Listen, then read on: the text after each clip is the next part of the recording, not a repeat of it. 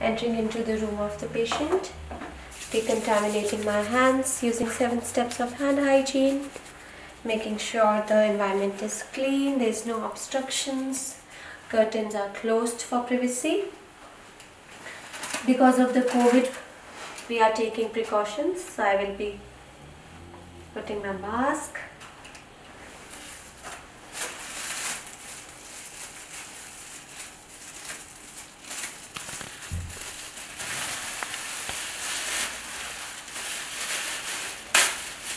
Wearing apron.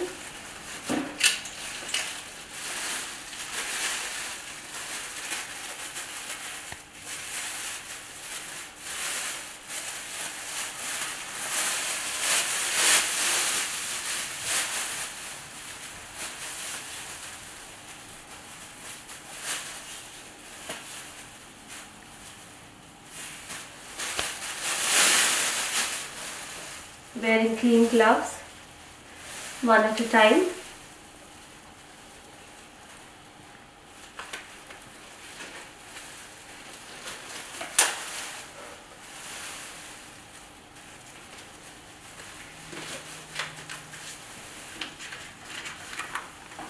Approaching the patient. Hello, Hi. my name is Sugandha and I'm the mental health nurse here. Okay, and today I will be taking care of you and uh, I'll be doing your physical observation wherein I will be checking your blood pressure, pulse, oxygen saturation and about some some questions about your alertness. Okay. Okay. But before starting anything, I would like to confirm some details with you. Okay. Can you please tell me your full name? Julie Smith. Can I please touch your ID band? Yes. Thank you. How would you like me to address you? Julie is fine. Okay, Julie, can what is your date of birth? 23 12 1995. Okay, and your address? One Hill Street, Plana. NP 12 3AB. Perfect. Julie, do you remember your NHS number? No, it's too long. No problem. I'll just cross check for you. Okay, it's one, two, three, four, five, six, seven, eight, nine, zero. Perfect. So, Julie, before starting this procedure, I would like to ask you whether you're free for 15 minutes because this can take 15 minutes if you want to use washroom or toilet. No, I'm fine. Are you okay to do it right now? Yes. Julie, do you have any allergies? No. Any allergies to plaster or latex? No. Okay, and uh, do you know why are you admitted? Um, the doctor wants to check my blood pressure, I think. Um, Okay. It's been going up and down. I see. Don't worry. We I'll be checking your blood pressure in this procedure. Okay. Yeah. And are you comfortable to do this in, in this position? Yes. Okay, nice. And uh, Julie, do have you done any physical exercise or smoking in last 30 minutes? No, I've just been sitting in the waiting room. Perfect.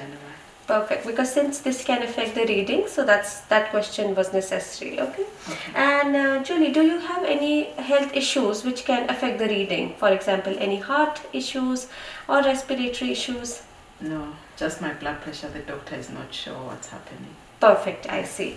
So I'll just uh, gather my equipments and I'll be back, okay? Okay. Okay, for this procedure we would uh, require a thermometer and uh, so just checking if whether it's switch off, there is enough battery, it is calibrated, the lenses are clean. Checking for ear probes. So there are enough ear probes for each ear. This equipment is good to use. Now next moving to my BP apparatus.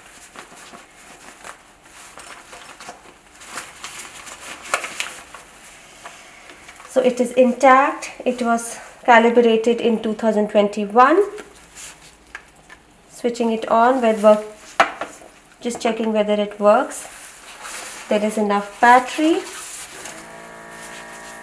There is no leakage. Checking for the cuff size. It is for the it is right size for my patient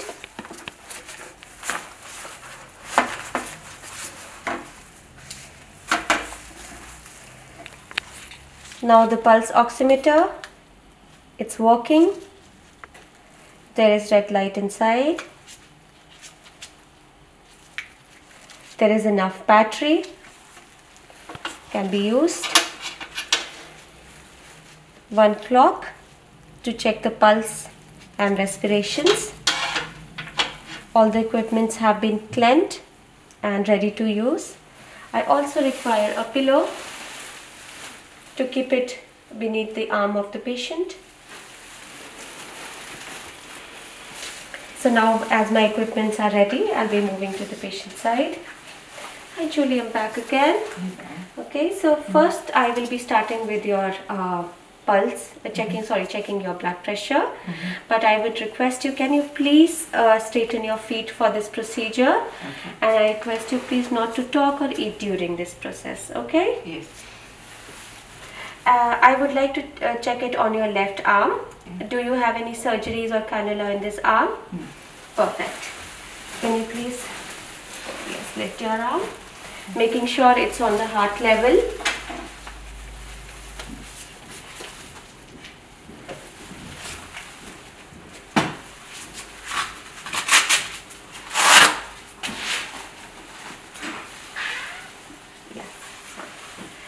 I lift your uh, clothing for you?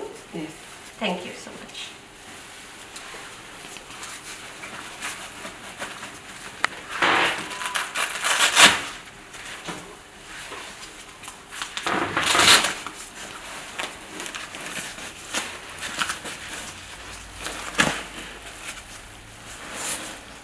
Sorry, it has to be.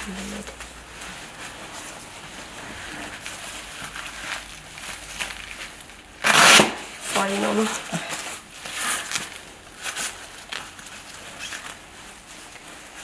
Okay. Yeah. You might feel some tightness in this arm, but that's normal, okay? Can I please touch your other hand? Checking the uh, capillary refill time.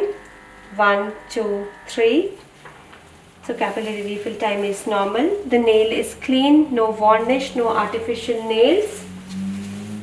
Now checking the saturation, you can just rest your hand over here. Perfect.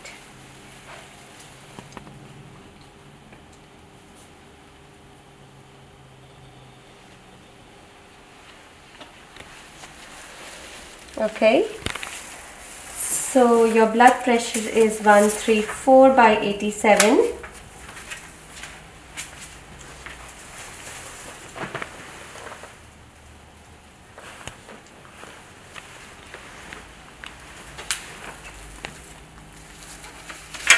So I will be documenting it over here. So it is 134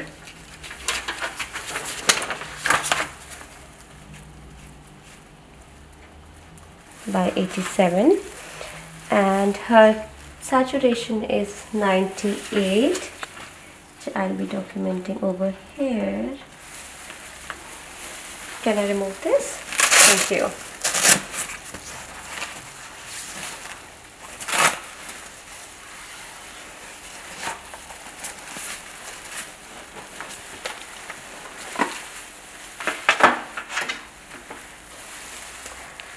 So your pulse is 81 in this pulse oximeter, but I will also like to check it manually. Is that fine? Yes. Okay. Can I please uh, touch your hand just to check your pulse for two minutes? Okay.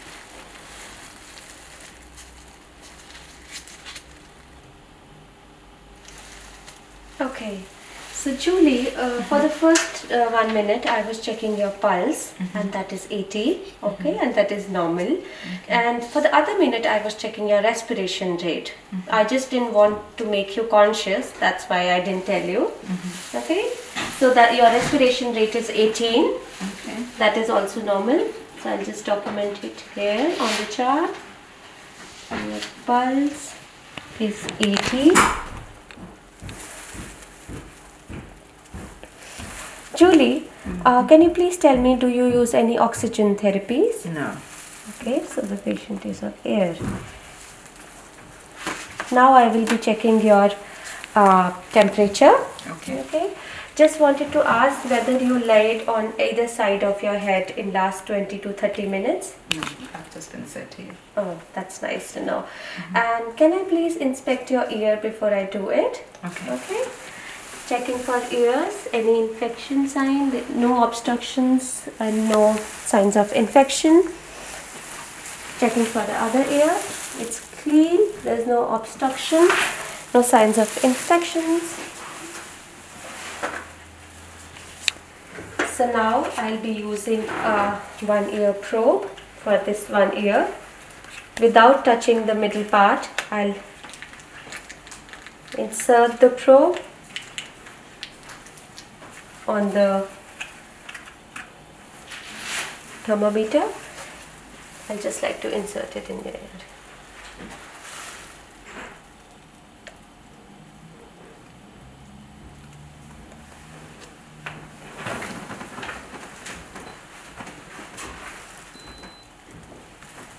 So it's 36.3 in one ear. Discarding it in the kidney dish. Now taking the other probe. Similarly, I just have to insert it.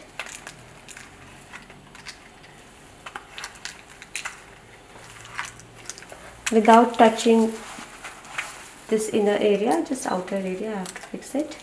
Insert it. So it's 36.5.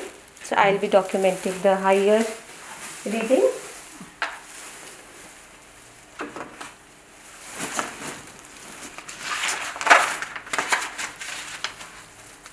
So I'll be documenting it 36.5 degrees Celsius.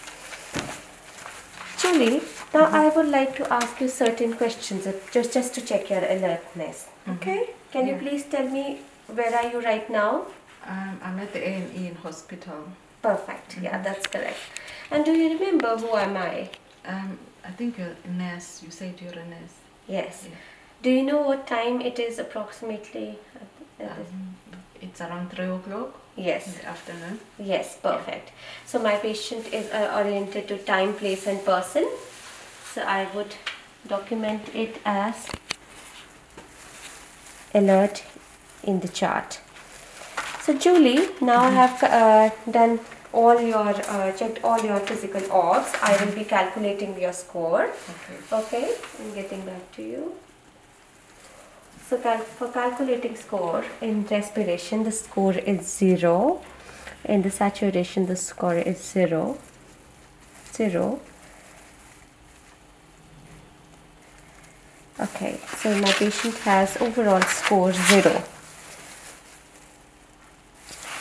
Now checking what can be the frequency of observations for zero. So it's 12 hourly and there is no need to escalate. So I'll document it 12 hourly. There is no need to escalate. And I'll sign. So I've calculated the score. The score has been 0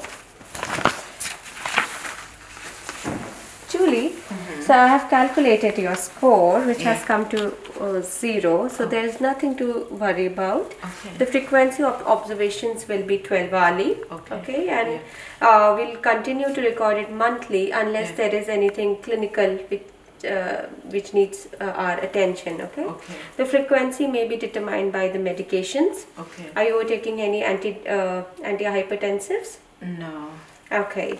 Yeah. So then, uh, or any existing medical condition which you don't have. Yeah. Are you happy with the information which I have provided to you? Yeah, so far so good. Okay. So is there anything you want to ask me? No, no, I'm happy that uh, my blood pressure is not too bad because the doctor was worried and they, she, he sent me here to just make sure. Okay. Yeah, but um, I see. But yes, your score is zero, so which is not uh, nothing to worry about it. Okay. okay. And if you need anything, there is a call bar. Then Yeah. you can ring it, and I'll come. Okay. Okay. Thank you, nurse. Thank you. After discarding my PPE, I've made sure that I've documented it correctly on the charts and I've also made sure my equipments are clean and ready to use for the next time. Okay, in the end, I'll decontaminate my hands using seven steps of hand hygiene.